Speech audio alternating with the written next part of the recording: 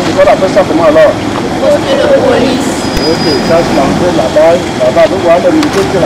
En toute convivialité, ces tout petits du primaire échangent avec l'armée autour des questions liées à la maintenance navale. Et c'est toujours un plaisir de pouvoir euh, faire comprendre nos, notre mission aux, aux, plus petits. Grande est ma joie de savoir que par rapport à, à, leur, à leur jeune âge, ils ont plutôt un, un certain degré d'intelligence parce que les questions qu'ils ont posées étaient plutôt pertinentes. Une visite menée par le commandant de la base navale en personne qui veut susciter auprès des enfants un engouement dans les métiers de l'armée, notamment dans la marine nationale. Toujours une joie, une grande satisfaction de pouvoir donner cette chance à nos enfants et nos petits-enfants de pouvoir comprendre comment se passe la maintenance dans les structures de la marine nationale. Et c'est important pour eux de s'adapter, de s'accommoder avec déjà cette réalité et susciter en eux des vocations.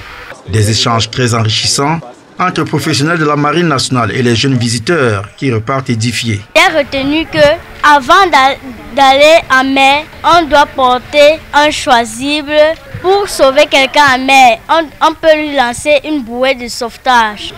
On a appris comment se comportent les marins et leur quotidien. Et la maintenance aussi des bateaux. Dans, plusieurs ateliers, l'atelier des batteries, des moteurs. Pendant trois jours, la base navale de Douala organise ainsi des journées portes ouvertes aux enfants du primaire dans le cadre de la synergie Armée-Nation prônée par le chef de l'État, Paul Biya. Dès qu'on actionne euh, ça et ça, on peut couper du fer, ça utiliser la scie, ça utiliser l'avion.